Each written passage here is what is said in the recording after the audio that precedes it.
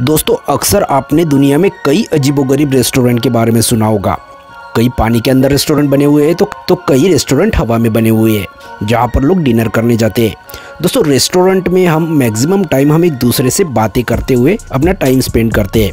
लेकिन दोस्तों, क्या होगा अगर आपको ऐसा बोला जाए कि आपको इस रेस्टोरेंट में एक दूसरे के साथ बात करने की इजाज़त नहीं है तो आपको कैसा लगेगा? तो आइए आज मैं आपको एक ऐसे रेस्टोरेंट के बारे में बताने जा रहा हूँ, जहाँ पर लोगों को बात करने की अनुमति नहीं है और आप यहाँ सिर्फ़ इशारों से खाने पीने की चीज़ों का ऑर्डर दे सकते हैं। दोस्तों, अब आप ये सोच रहे होंगे की आखिर ये सब करने के पीछे कारण क्या है? ये लोग ऐसा क्यों करते हैं?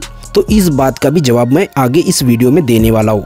तो बिल्कुल बने रहिए मेरे साथ इस वीडियो में पूरे एंड तक और वीडियो को बिल्कुल भी स्किप ना करें। नए व्यूवर चैनल को सब्सक्राइब तो कर लो और बाजू में दिखी घंटी दबाकर ऑल सिलेक्ट कर लेना। और हाँ वीडियो के नीचे दिखे लाइक बटन को ज़रूर प्रेस कर लेना। दोस्तों, मैं आपको बताना चाहता हूँ कि यह बहुत ही अलग किस्म का रेस्टोरेंट है, जो कुछ समय पहले चीन के ग्वांगजू में खुला हुआ है। इस रेस्टोरेंट की शुरुआत स्टारबक्स ने की है और जैसे कि मैंने बताया कि यहाँ पर एक दूसरे से बात नहीं कर सकते, इसलिए इस रेस्टोरेंट का नाम साइलेंट कैफ़े रख दिया है। यह चीन का एकमात्र ऐसा रेस्टोरेंट है जहाँ पर बिना बोले ही आपको खाने का ऑर्डर दे सकते हैं। इस रेस्टोरेंट की खास बात यह भी है कि ग्राहक इस रेस्टोरेंट में बिना बोले ही ऑर्डर देते हैं। आपको जो भी मंगाना होता है, अपने हाथ के इशारे से मेनू कार्ड के नंबर को बता दे। ऑर्डर कुछ मिनटों में आपके पास आ जाएगा। दोस्तों, अब आप सोच रहे होंगे कि क्या इशारों में सब बातें समझाना पॉसिबल है? अगर समझो कोई कस्टमर अगर रेस्टोरेंट के कर्मचारी को समझाने में नाकाम रह गया तो क्या होगा?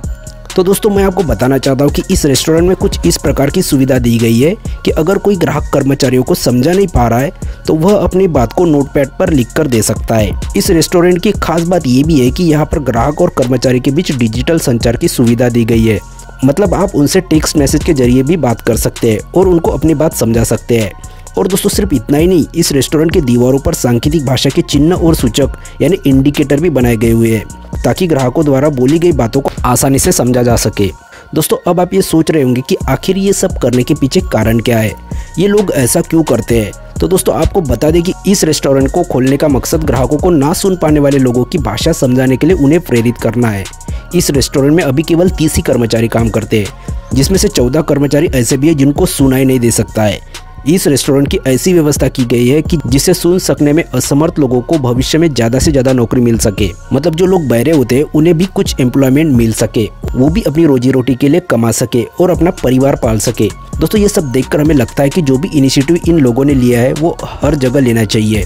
जो लोग फिजिकली हैंडीकैप होते हैं, उन्हें भी कहीं ना कहीं पैसों की ज़रूरत होती है और वो भी काम करने में रुचि रखते हैं। तो अगर हम ऐसे रेस्टोरेंट चलाएँ तो इसमें उन्हें भी खुशी मिलेगी। हम इस चाइनीज़ रेस्टोरेंट ओनर को एक ही बात बोल सकते हैं, और वो ये है कि man you are doing great work दोस्तों वीडियो पसंद आया होगा तो इसे लाइक ज़रूर करें। अगर आप हमारे चैनल पर नए होंगे तो चैनल को सब्सक्राइब ज़रूर कर ले। दोस्तों वीडियो कैसे लगी इसके बारे में कमेंट करके हमें ज़रूर बताइए। और स्क्रीन पर जो दो वीडियो दिख रहे हैं, उनको भी आप वॉच कीजिए। तो मैं मिलता हूँ आपको नेक्स्ट वीडियो में कुछ ऐसे इंटरेस्टिंग टॉपिक साथ। तब तक ले thanks for watching goodbye and take care